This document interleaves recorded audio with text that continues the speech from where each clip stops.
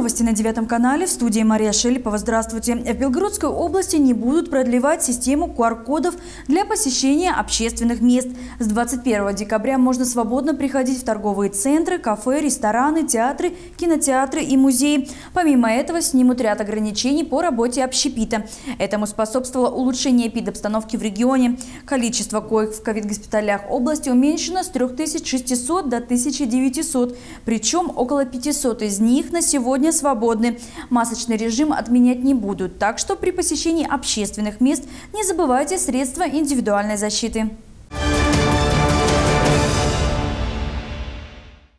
Департамент здравоохранения области опубликовал обновленную статистику по борьбе с коронавирусной инфекцией. Согласно этим данным, 79 164 жителя Белгородчины были инфицированы. Смогли побороть болезнь более 67 тысяч. 1677 человек скончались. В ковид-госпиталях региона сегодня 1656 пациентов, в том числе 58 на ИВЛ. Еще более 8 тысяч проходят лечение амбулаторно. В Старомосколе всего выявлено 14 11 100 заболевших. Выздоровели чуть более 12 тысяч. Не смогли справиться с болезнью 452 зараженных. Почти 1600 человек лечатся на данный момент.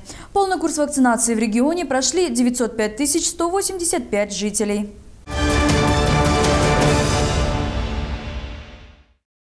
Вас нет миллиона, не думайте, что преступники не смогут его отнять. Цифровое мошенничество достигло невиданных масштабов. В России счет идет на триллионы рублей. В Белгородской области киберпреступники с начала года облегчили кошельки жителей на 500 миллионов рублей. Оскольчане добровольно перечислили аферистам 100 миллионов. Найти и вернуть удалось лишь 1 миллион рублей. Почему возвратить деньги практически невозможно? Кто чаще всего становится жертвой обмана? По каким схемам действуют мошенники? Об этом говорили на пресс-конференции с представителями полиции и прокуратуры. Каждое пятое сообщение в полицию о дистанционном мошенничестве. Для борьбы с ним год назад в Старооскольском УМВД создали спецгруппу по противодействию IT-преступлениям. Результаты уже есть. Если в 2020-м раскрываемость составляла 15%, сейчас выросла на 23%. На территории Старооскольского городского округа уже зарегистрировано более 750 преступлений данного вида. Отмечается рост э, совершения преступлений в сфере IT-технологий. Злоумышленники, как правило, не оставляют практически никаких следов, потому что звонки осуществляются, как правило, с подменных номеров, сим-карт, однодневок. У человека на телефоне может высвечиваться номер дежурной части УВД, ФСБ и все остальное. По данным преступлениям денежные средства чаще всего выводятся либо на абонентские номера, либо на различные киви кошельки, впоследствии конвертируются в э, криптовалюту. Колл-центры, откуда звонят потенциальным жертвам, чаще всего находятся за границей. Особенно много их на Украине. Аферисты набирают ваш номер и предупреждают, что мошенники пытаются списать с вашего счета деньги. Нет, не переживайте, ваши средства не затронуты. У вас же пытались мошенники списать деньги. Чтобы мошенники не имели доступа к вашим деньгам по вашей карте, ваши средства были перенесены на банковское резервное хранилище до момента решения ситуации. Как только аннулируется кредит, ваши средства вам возвращаются на счет. Это чтобы они не списались, у вас они не отображаются. В большинстве случаев потерпевшие, которые вот становятся жертвами, они никуда не ходят. Они находятся дома и просто а, под диктовку звонящего человека начинают переводить денежные средства. И когда они уже к нам приходят, в большинстве случаев, когда это там большие суммы, то есть это миллион, два, три, у нас даже был случай пять миллионов, он не помнит, куда он переводил деньги, на какие счета. Из каждых десяти оскольчан, ставших жертвами кибераферистов, 6-7 знали, как преступники могут обвести вокруг пальца. Но все равно попались. Среди них далеко не глупые люди. Они признаются, это было словно под гипнозом. Все потому, что обман происходит по отработанным схемам. Злоумышленники знают, что и каким тоном говорить.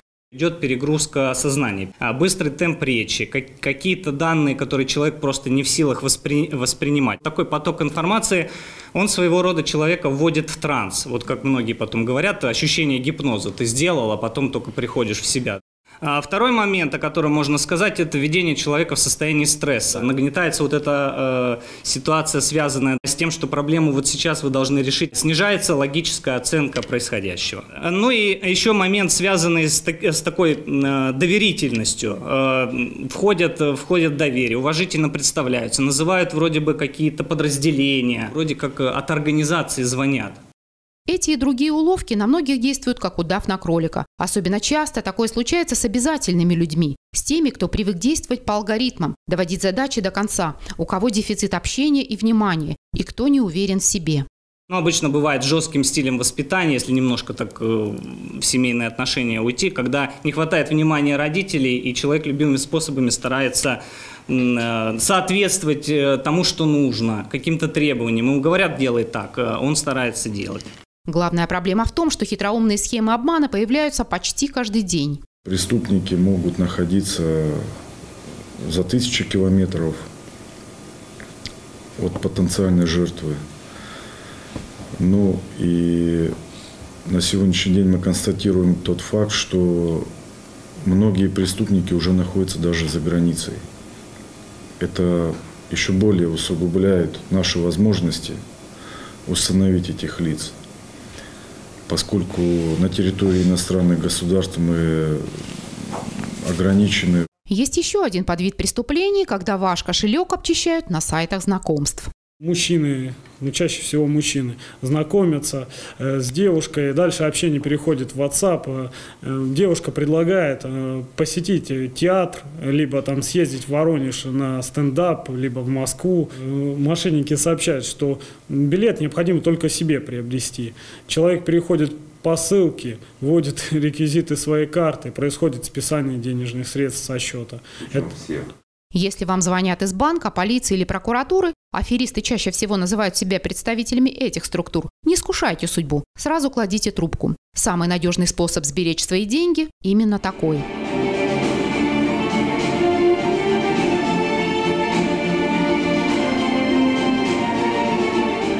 Жертвой обмана может стать любой, независимо от пола, возраста, профессии. Если у вас нет денег, вас могут убедить взять кредит, вы можете оказаться в пожизненной кабале. Более 100 миллионов рублей отдали старооскольцы киберпреступникам с начала года. Вернуть владельцам удалось только миллион. Выудить деньги, которые ушли за границу, почти невозможно. Лариса Ульяненко, Алексей Грачев, Илья Самсонов, Девятый канал.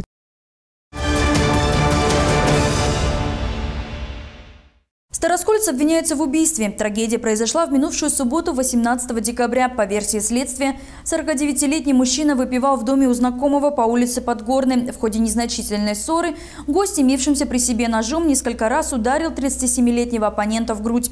От кровопотери тот скончался. Подозреваемый сам сообщил об этом в скорую помощь и ритуальную службу. Мужчине предъявлено обвинение в убийстве. Санкции статьи предусматривают до 15 лет лишения свободы. Следственный комитет проводит экспертизы в рамках уголовного дела. Бесплатно, без очереди, без посещения больницы. Могут оценить состояние здоровья староскольцы. Выездная бригада Центра медпрофилактики в эти дни работает в микрорайоне Звездном. Акция «Здоровье плюс спорт» на базе школы Олимпийского резерва «Золотые перчатки» проходит впервые. На медосмотре побывала наша съемочная группа. Измерить давление и сатурацию, узнать уровень холестерина и глюкозы в крови, вычислить, как работает сердце – все это бесплатно и не заходя в поликлинику. Акция «Здоровье плюс спорт» идет в эти дни в спортшколе «Золотые перчатки». На обследование ежедневно приходит около трех десятков оскольчан. Поэтому в очереди максимум 2-3 человека. Знаете, охотнее, конечно, люди откликаются именно на выездные акции. Почему? Потому что в наше время, учитывая, что мы два года живем вот с пандемией, идти в поликлинику для многих становится э, значит, проблематично. Почему? Потому что вы понимаете, что все боятся заразиться. А здесь, здесь, пожалуйста, здесь все также с соблюдением всех мер противоэпидемической безопасности. Но, тем не менее, идут сюда, потому что здесь нет больных людей. Вот весь секрет, наверное, в этом. Основные пациенты, признается Анна Годецкая, пенсионеры, причем женщины. Почувствовав на себе, как быстро начинает сыпаться организм, они стараются затормозить процесс. К тому же акция бесплатная, а для многих это очень важно. Женщины, наверное, остаются более ответственными к своему здоровью, к своему, э, значит, смотрят за собой.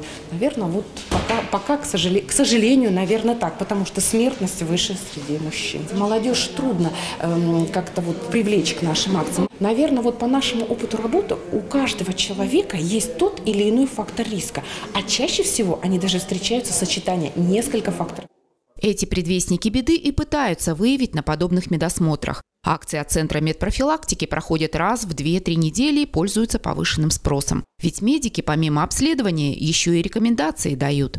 Я просто зашел по работе, ну, в связи с тем, что здесь проходит обследование, решил задержаться на несколько минут, чтобы обследовать свое здоровье. За здоровьем я слежу очень тщательно. Такие акции просто необходимы, чтобы люди чаще задумывались, зачем нам здоровье.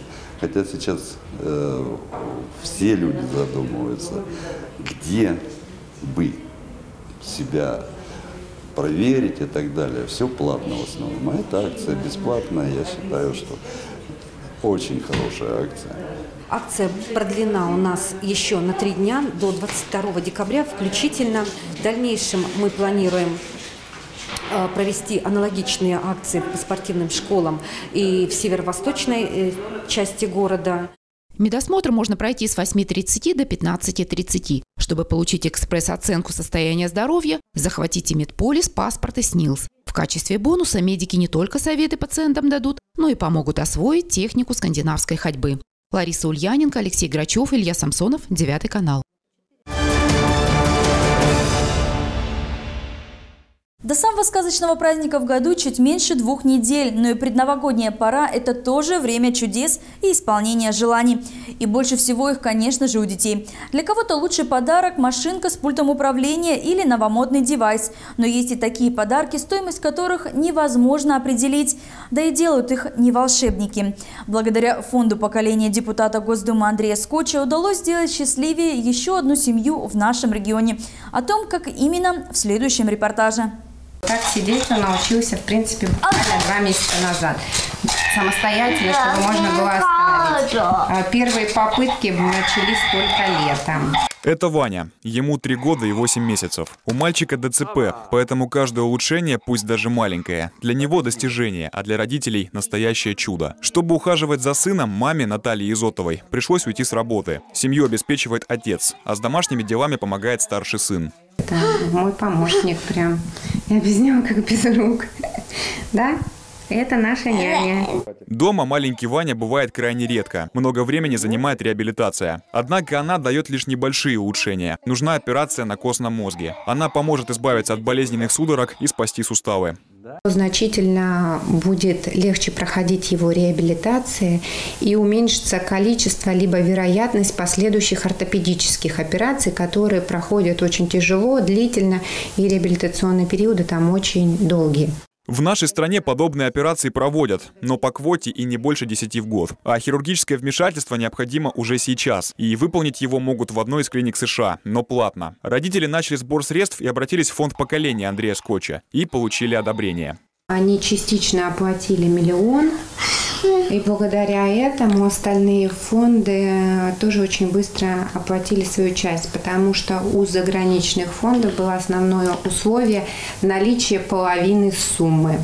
Теперь, когда позади оформление визы и всех остальных документов, Ваню ждут в Сент-Луисе, штат Миссури. Вместе с родителями он отправится туда в четверг. Саму операцию проведут 23 декабря. После нее еще несколько недель потребуется на восстановление. За границей Ваня встретит сразу два Рождества и Новый год. Будем надеяться, что и чудес тоже будет больше в два раза.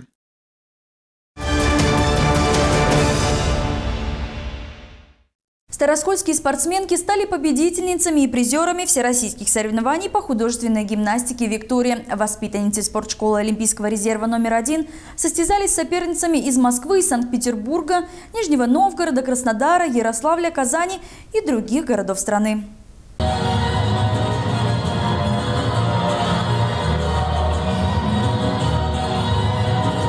Всероссийские соревнования по художественной гимнастике «Виктория» проходили в Орехово-Зуево. Туда отправились сразу четыре группы воспитанниц спортшколы Олимпийского резерва номер один. Команда «Звездочки» завоевала золотые медали, а мармеладки покорили третью ступень пьедестала. Несмотря на юный возраст, девочкам 9-10 лет и хороший результат, сами гимнастки достаточно критично оценивают свои выступления. Никаких переволновался или не выспался в спорте быть не может. Были потери, были элементы, которые не сделали, ну, не очень выступили. Они более сложные элементы выполняли, и хочется тоже такие выполнять, и буду стараться делать. Мы будем стараться. На соревнованиях группы выступают с двумя программами – с предметом и без. Именно обручи и не покорились девчонкам. Были потери. Так в художественной гимнастике называют момент, когда спортсменке не удается поймать предмет при выполнении элемента.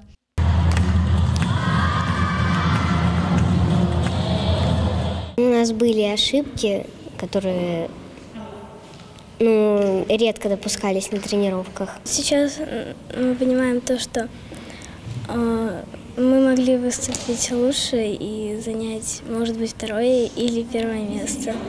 Нас, когда награждали, даже путали медали и давали второе место. И сказали то, что в следующий раз будет второе место, а еще в другое первое. Но лучше сразу занять первое. Тренер Олеся Пирамидина отмечает, что это лишь второй выезд на соревнования за целый год, а в 2020-м и вовсе участвовали в онлайн-конкурсах. Также большое значение имеют и условия тренировок. На турнирах девчонки выступают в больших залах с высокими потолками. И им нужно занять практически все пространство на ковре размером 169 квадратов. А занимаются гимнастки на прямоугольнике всего в 70 квадратных метров. В этом зале мы тренируемся не каждый день, тренируемся с, в школе э, в 24-й. Там потолок ниже, и мы не можем делать высокие броски, как вы заметили. А они нужны с предметом обязательно. Из-за этого, так как у нас площадка нестандартная здесь, нам не хватает места. И когда дети попадают в большой зал, на большую площадку, соответственно, меняются рисунки, меняются перестроения, дети немножко теряются в пространстве, и из-за этого получаются ошибки. Сейчас оскольчанки готовятся к следующему турниру в Старом Осколе. Так традиционно провожают год в спортшколе Олимпийского резерва номер один. Мария Шелепова, Роман Стариков, Евгений Сазонов, Девятый канал.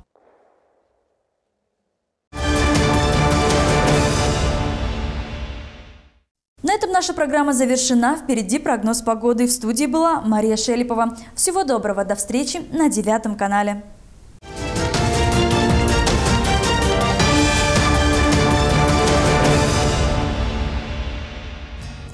Студии Лариса Ульяненко. Здравствуйте. 21 декабря – день зимнего солнцестояния и самая долгая ночь в году. Но короткий световой день еще не все испытания, которые пошлет нам природа. В ближайшее время нас ждут самые настоящие морозы. Если сегодня утром было всего минус 4, завтрашний день начнется с минус 10, а к вечеру температура упадет до 15 градусов мороза. В купе с северо-западным ветром и высокой влажностью 10 градусов ниже 0 мы будем воспринимать как минус 17, а минус минус 15 превратятся в минус 22. В придачу к этому синоптики прогнозируют снег. Атмосферное давление 738 мм ртутного столба. Рассвет наступит 8.30, а за горизонт солнце зайдет в 16.22.